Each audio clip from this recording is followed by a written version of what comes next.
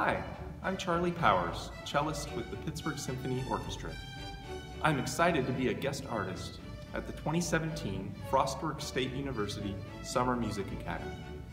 The Academy offers master classes, chamber music coachings, daily concerts, Alexander Technique sessions, outdoor activities, and much, much more.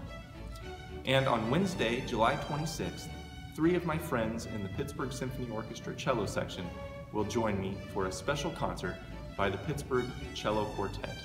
Space is limited, so apply now.